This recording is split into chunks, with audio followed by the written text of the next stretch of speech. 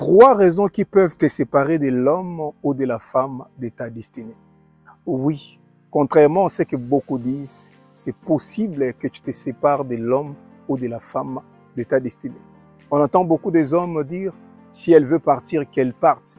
Si c'est vraiment elle, la femme que Dieu a prévue pour moi, elle finira par revenir. On entend beaucoup de femmes dire, s'il veut partir, qu'il parte. Si c'est vraiment lui, l'homme que Dieu a prévu pour moi, il finira par revenir cela est totalement faux. Beaucoup de femmes ont laissé partir les hommes de leur destinée. Beaucoup d'hommes aussi, par manque de discernement, par manque de beaucoup de choses, ont laissé partir les femmes de leur destinée. Beaucoup de gens vous diront, pendant qu'il était sur le point de se marier, il a rencontré une personne, il a prié pour cette personne et il était convaincu que c'était lui l'homme de sa destinée, c'était elle la femme de sa destinée. Parfois, il a prié et Dieu lui a dit c'est vraiment elle. Parfois, elle a prié et Dieu lui a vraiment dit que non, voilà, c'est lui l'homme de ta vie. Mais après un certain moment, ils se sont séparés. Dieu lui a montré même des songes. C'était lui. Parfois, les hommes de Dieu l'ont même certifié. Mais pourquoi on s'est séparés? Parfois, il se pose la question. C'est lui que j'avais entendu, c'était vraiment Dieu? Les songes là que j'avais vus venaient vraiment de Dieu. Et ce qui est encore troublant, après lui, il rencontre encore une deuxième personne, une troisième personne. Il prie. Dieu lui dit que c'est l'homme, c'est toujours l'homme de ta destinée. Parfois, il se pose la question, mais comment je peux avoir plusieurs hommes de ma destinée? Pourquoi chaque fois quand je prie, Dieu me dit c'est la femme de ma destinée, mais on se sépare après? C'est quoi maintenant le problème? Est-ce que c'est lui que j'entends, c'est Dieu ou ce n'est pas Dieu?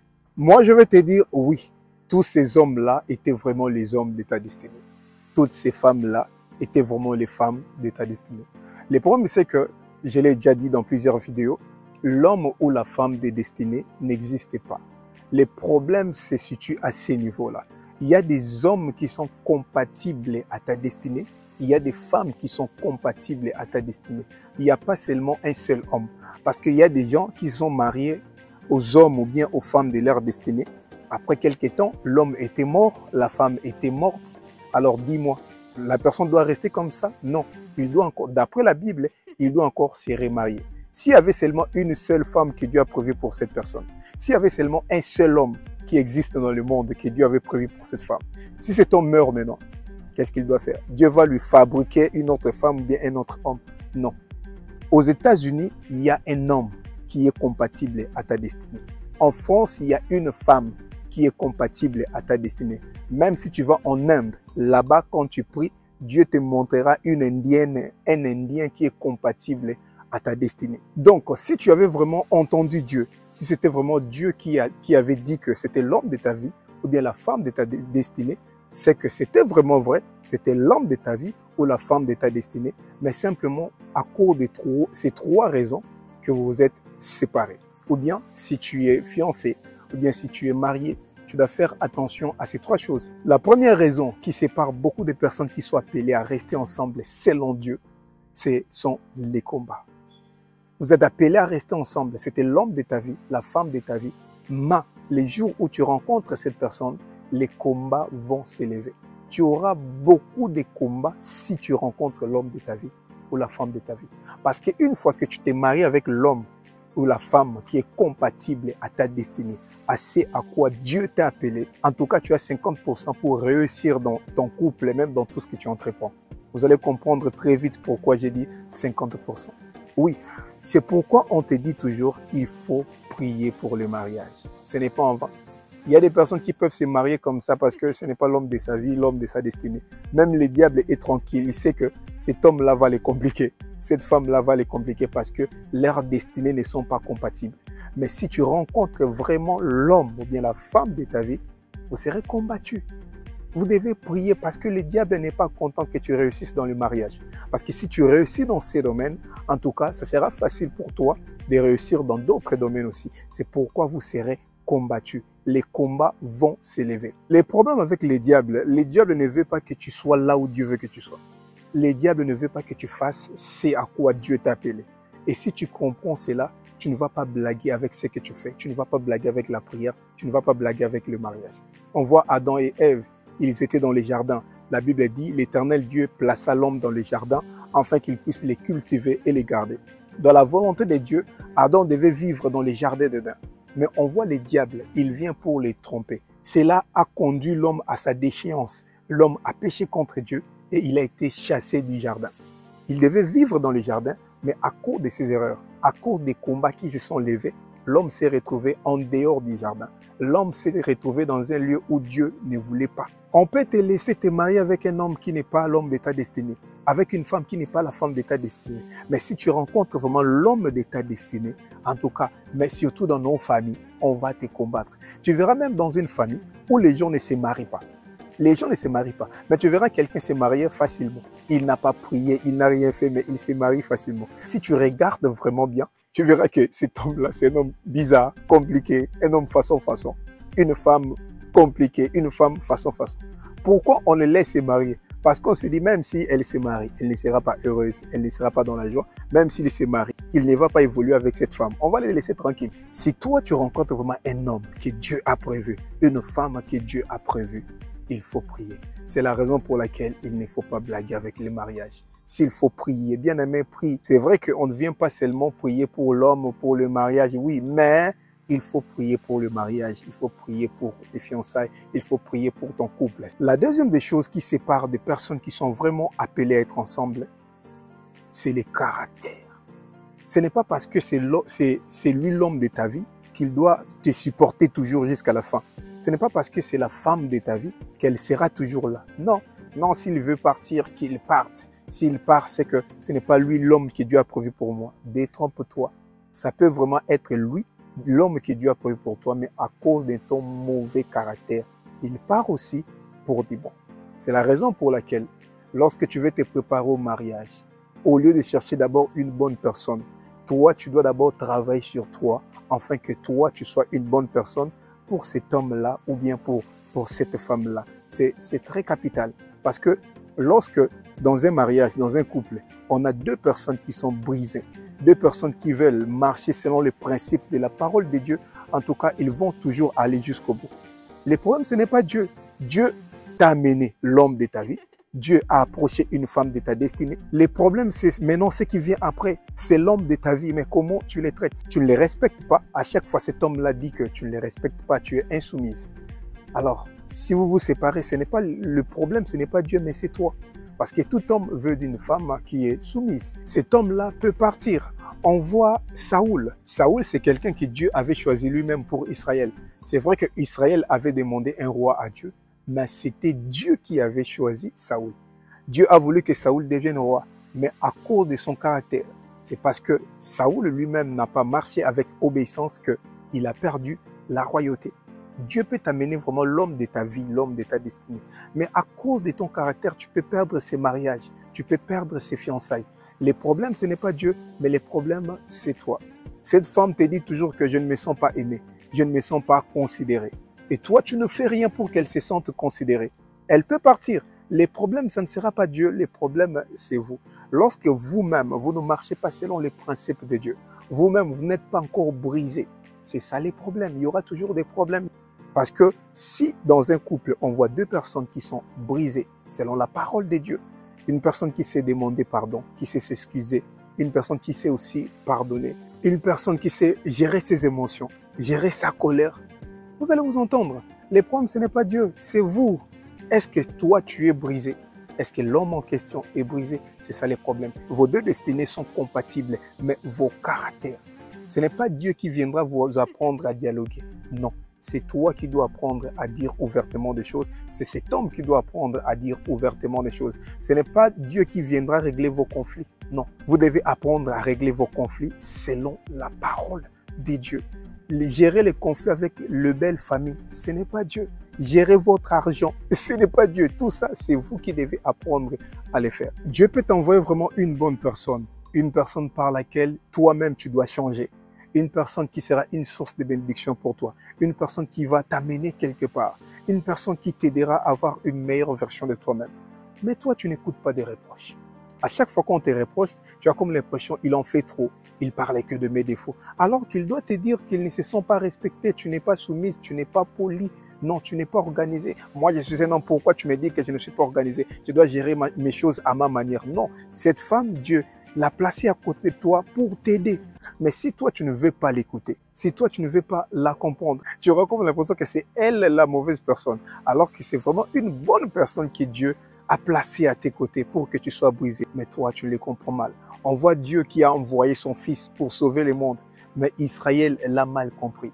Israël disait qu'il blasphémait, il en faisait trop. Comment il peut se déclarer Dieu alors qu'il était vraiment Dieu? Et c'est ça maintenant le problème. Dieu peut t'envoyer une bonne personne, mais comme tu n'es pas brisé, comme tu n'as pas cette capacité à être soumise, mais comme tu n'as pas cette capacité à écouter aussi l'autre, à considérer aussi ce que l'autre dit, tu peux les perdre comme ça. Tu peux même avoir comme l'impression que ce n'est pas vraiment la bonne personne, alors que c'est vraiment elle la bonne personne pour toi. La troisième des choses qui sépare des personnes qui sont appelées à rester ensemble, qui peut te séparer de l'homme ou bien de la femme de ta destinée, c'est lorsque tu ne comprends pas la différence qui existe entre les hommes et les femmes en général. Tu peux rencontrer l'homme de ta vie, tu peux avoir un bon caractère, mais si tu ne comprends pas que l'homme et la femme sont totalement différents, cela peut vous pousser à vous séparer. Parce que lorsque tu regardes un homme, même s'il ne parlait pas, tu le regardes seulement physiquement, sa morphologie. Toi-même, tu te dis, c'est un homme. De la même manière aussi, lorsque tu regardes une femme, même si elle ne parlait pas, tu la vois seulement, vois sa morphologie. Toi-même, tu te dis, c'est une femme. Lorsqu'elle parle, tu entends sa voix, c'est un peu fine, c'est un peu aigu. Lorsqu'un homme parle, c'est un peu grave. Tu te dis, c'est lui, si c'est un homme, celle-là, c'est une femme. De la même manière que physiquement, on est différent, on est aussi différent spirituellement, psychologiquement, émotionnellement, mentalement, on est totalement différent. Celui qui ne comprend pas cette différence spirituelle, psychologique, mentale qui existe entre les hommes et les femmes aura du mal de rester dans un, dans un couple. Parce que l'homme va vouloir que la femme réagisse comme lui, il réagirait aux mêmes circonstances. Et la femme aussi attend que l'homme réagisse comme elle réagirait aux mêmes circonstances, alors que ce n'est pas comme ça. Les hommes et les femmes, par exemple, ne se sentent pas aimés pour les mêmes raisons. On verra une femme, quand tu es une femme, tu fais beaucoup de choses pour prouver à l'homme que tu l'aimes, mais pour lui, ce ne sont pas des preuves d'amour pour lui. Quand tu es un homme, tu peux faire beaucoup d'efforts pour prouver à une femme que tu l'aimes, mais pour elle, ce ne sont pas les preuves d'amour. Et à la fin, tu te dis, elle est ingrate, ou bien il est ingrat. Il fait beaucoup de choses pour lui, mais regarde ce qu'il m'a fait. Il n'est même pas persuadé que je l'aime. Le problème, c'est ça. Toi, tu l'aimes, mais à ta manière, mais pas à sa manière. Tu verras, les hommes te diront par exemple que pour se sentir aimé, l'homme a d'abord besoin d'une femme soumise. Tu peux tout faire, mais si tu ne les respectes pas pour lui, tu ne l'aimes pas. Tu peux tout lui donner, mais si tu n'es pas soumise, si il ne se sentait pas respecté, même si tu as acheté des immeubles pour lui, pour lui, tu ne l'aimes pas. C'est l'autre femme-là qui lui donne rien, mais qui le respecte. Pour lui, c'est cette femme-là qui l'aime beaucoup. Les hommes te diront par exemple, ils se sentent aimés lorsqu'ils ont une femme qui apprécie ce qu'ils font. Même si c'est leur devoir de faire cela, mais une femme qui sait apprécier ses efforts. Une femme qui sait apprécier tout ce qu'il fait. Si la femme n'arrive pas à apprécier même les petites choses que cet homme fait, cet homme-là aura comme l'impression que cette femme ne l'aime pas. Mais même si c'est son devoir de payer les frais pour les enfants, mais lorsqu'il les fait, il a besoin de voir comment sa femme apprécie ce qu'il fait. L'homme te dira par exemple, il se sent aimé lorsqu'il a une femme qui sait l'encourager, une femme qui croit en lui, une femme qui peut lui dire que non, mon homme, je crois en toi, je sais que tu le feras, je sais que tu es capable, je sais que tu vas y arriver. Même si l'homme en question est faible, mais simplement parce qu'il entend ça venant de sa femme. Waouh! Pour lui, en tout cas, cette femme même. Et il va le faire pour te prouver que il en est vraiment capable. Mais les femmes, en revanche, vont te dire, elles se sentent aimées lorsqu'elles ont un homme qui est attentionné.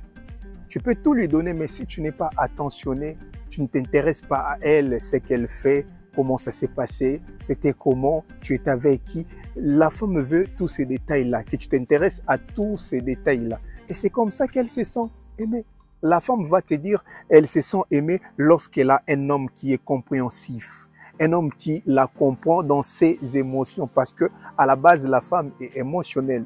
Pendant ces jours-là où elle est dans ces états, que toi tu la comprennes, que tu comprennes qu'elle avait mal, que tu comprennes qu'elle n'avait pas aimé, ce que tu avais fait là ne l'avait pas plu, que tu comprennes que quand elle dit qu'elle n'a pas beaucoup d'habits, que tu comprennes pourquoi elle dit cela. Que tu ne sois pas toujours dans tes logiques là d'homme, dans pourquoi tu n'as pas d'habits et alors que tu as beaucoup de valises, pourquoi tu dis ça? Que tu comprennes simplement que elle n'a pas d'habit qui correspond à sa journée, bien à cette saison, bien elle n'a pas l'habit qui, qui correspond à ses humeurs. Tu dois la comprendre comme ça. Et si toi, tu ne veux pas la comprendre, en tout cas, il y aura un problème. La femme veut d'un homme qui est romantique. La femme veut d'un homme qui sait l'apprécier. Non, tu es bien habillé, tu es belle et toutes ces choses-là. Il y a beaucoup de différences. Et si tu ne comprends pas cette différence-là, même si vous êtes chrétien, même si tu es avec l'homme d'état destiné, eh bien la femme d'état destiné, mais aussi longtemps que vous ne comprenez pas toutes ces différences, ce sera difficile que vous viviez dans un couple qui est épanoui, dans un couple qui est heureux. Si tu es un homme, tu dois apprendre comment les femmes sont différentes des hommes. Si tu es une femme, tu dois apprendre comment les hommes sont différents des femmes. Parce qu'il y aura des moments où, quand l'homme manifeste cette différence-là, tu auras comme l'impression qu'il fait mal les choses, alors que tous les hommes sont comme ça. Et toi, tu auras comme l'impression que c'est cette femme qui fait mal les choses, alors que toutes les femmes sont, sont comme ça. L'homme, par exemple, pendant un moment, il veut rester seul. Il ne veut pas que toi, tu sois là. Et si tu ne sais pas, tu n'es pas au courant, tu auras comme l'impression qu'il a quelque chose contre toi. Alors que tous les hommes sont comme ça. Pendant un moment, il veut rester dans son coin, que toi, tu ne sois sois pas là.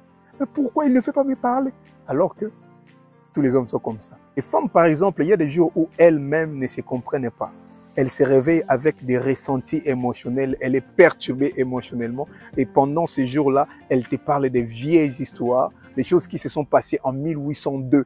Alors vous, vous êtes en 2023, tu ne comprends pas, mais pourquoi tu m'en parles aujourd'hui? Ce sont des choses qui se sont passées il y a très longtemps. Si tu es un homme qui comprend les choses, tu te dis non, aujourd'hui, c'est un autre jour. Donc voilà, pour conclure, la première des choses, tu dois prier. C'est important. Que Dieu te révèle si c'est vraiment lui l'homme de ta vie ou bien c'est elle la femme de ta vie. C'est important, il faut prier. La deuxième des choses, tu dois être brisé. Tu dois demander les brisements de Dieu. C'est important parce que si tu n'es pas brisé, il y aurait un problème. La troisième des choses, fais un effort de comprendre la différence qui existe entre les hommes les femmes. Lorsque vous comprenez ces différences-là, vous allez toujours vous comprendre. Par exemple, l'homme oublie la date à laquelle vous vous êtes rencontrés. La femme va comprendre. La femme va se dire, bon, les hommes sont toujours comme ça. Et l'homme aussi, de son côté, va fournir beaucoup d'efforts pour se souvenir toujours de ces dates-là. Pourquoi il se dit, pour les femmes, ces dates-là sont très très importantes. Parce que si vous ne comprenez pas ces différences-là, les jours où l'homme oublie ces dates, tu diras, bon voilà, c'est la preuve qu'il n'est même pas, qu'il ne me considère pas, alors que ce n'est pas ça. Que Dieu vous bénisse abondamment.